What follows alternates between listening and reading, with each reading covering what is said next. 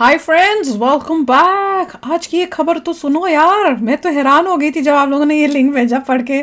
भैया, मोदी जी ने पाकिस्तान की कर दी धुलाई। और वाह। घर में घुसकर मारने का दिखाया दम है। चलो देखते हैं।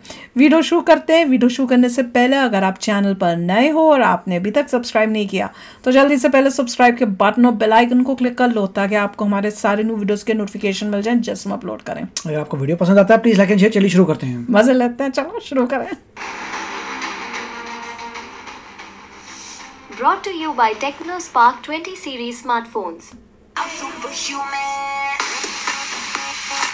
ये क्या है? स्पार्क ट्वेंटी कोई फ़ोन है? आटे के लिए तरस रहे हैं उनके आतंकी हम पर हमला करके चले जाते थे आज का भारत घर में घुसकर मारता है। आज का भारत दुनिया को दिशा दिखाता है।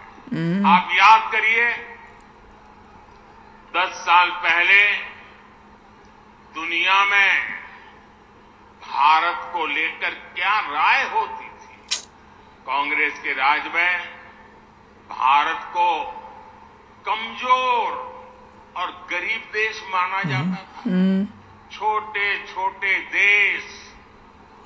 आज जो आटे के लिए तरस रहे हैं उनके आतंकी हम पर हमला करके चले जाते थे।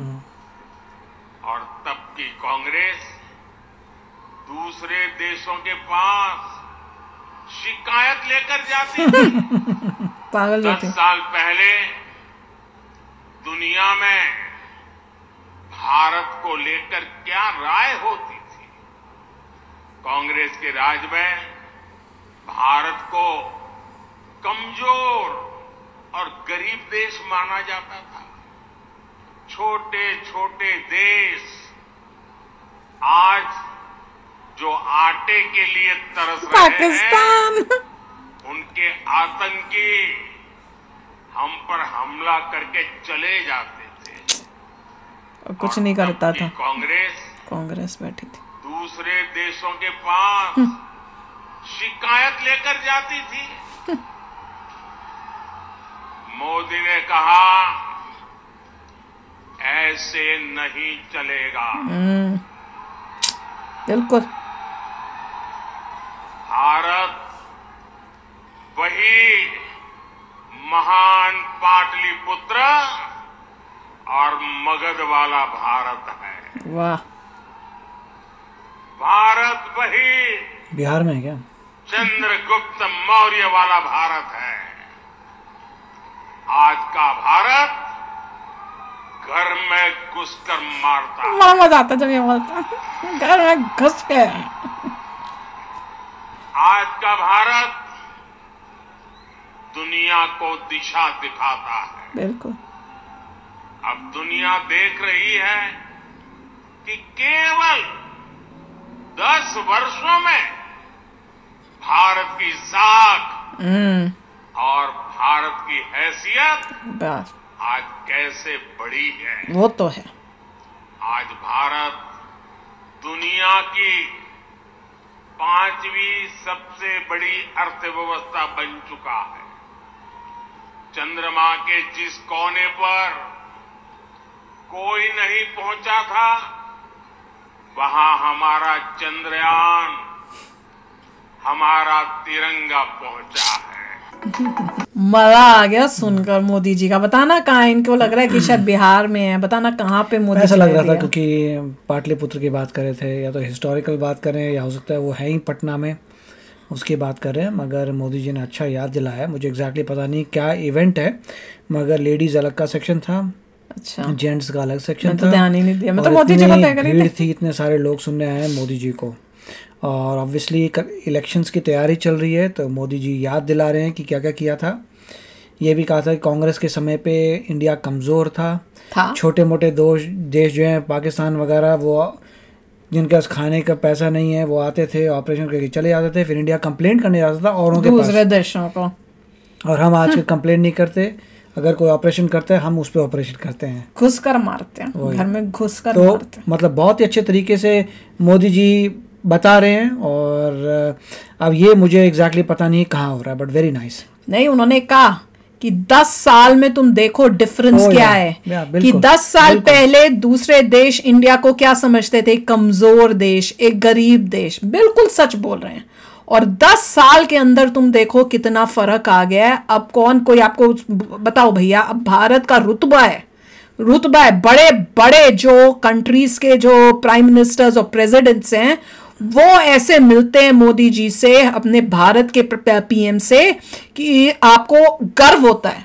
यू कैन सी आप डिफरेंस खुद ही देख सकते हो यार मतलब पहले का और देखिए अब का। एक आध साल बाद मोदी जी कहेंगे कि इंडिया फोर्थ लार्जेस्ट इकॉनमी है। फिर बोलेंगे इंडिया थर्ड लार्जेस्ट इकॉनमी है तो ये होने वाला है। उन्होंने कहा था कि अगर मुझे दोबारा लेके आते हो जो तो आ रहे हैं तो अगले दस साल में थर्ड लार्जेस्ट इकॉनमी हो जाएगी।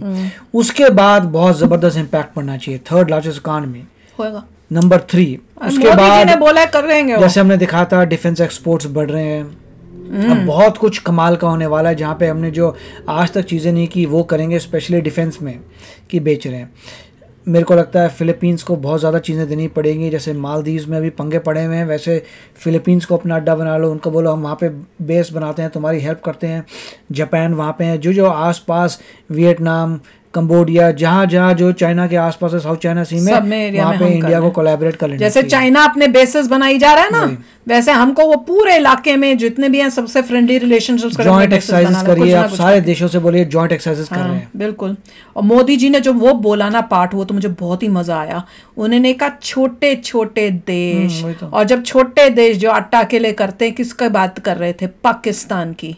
तो पाकिस्तान की ऐसी धजियाँ उड़ाई हैं ऐसी बेइज्जती की है कि तुम हो क्या यार? तुम देश हो क्या? छोटा सा आटा आटे की आटा मांगते रहते हो।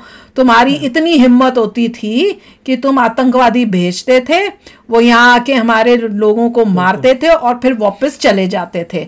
और ये कांग्रेस जो थी वो बैठी रहती थी और छोटे बच्चे की तरह रोती हुई जाती थी किसी और देशों के जैसे अभी हम किसी के गुलाम हैं हाँ? और अब मोदी जी ने कहा कि मैं आया दस साल में सब चेंज हुआ अब देखो अंदर घुस के मारते क्या उनकी हालत हुई है। स्पेशली जी ट्वेंटी के समय इंडिया ने रियल पावर दिखाई ओ थी यस बिल्कुल। जहाँ पे वर्ल्ड के इतने लीडर्स आए थे वो मेस्मराइज्ड हो गए थे अरे वाह कितना कमाल का किया है। प्राउड फील करवाया हर एक उसके बाद भी अगर अभी आए हैं तो उनको नज़र आएगा सारे एयरपोर्ट्स बदल चुके हैं रेलवे स्टेशन बदल चुके हैं हाईवेज आ रहे हैं तो आप भी कहिए पाँच साल बाद जो है पाकिस्तान का इंसान भी घूमने आता है उसे लगेगा फॉरेन कंट्री में आ गया वो। वो तो रोएँगे पिटेंगे देख के इंडिया कि ये क्या क्या हो गया। हम कहा क्या बन गए और इंडिया क्या बन गया? अभी आते तो हैं पाकिस्तान से लोग अभी थोड़ा बहुत इंप्रेस होते हैं।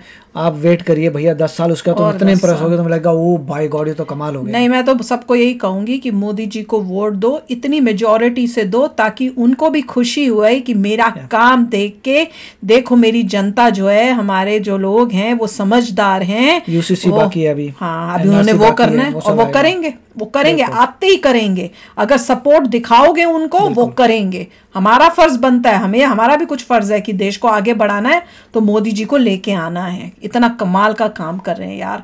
हमें यहाँ बाहर बैठे हुए इतना प्राउड फील होता है प्राउडली बोलते हैं भैया हम इंडिया से हैं।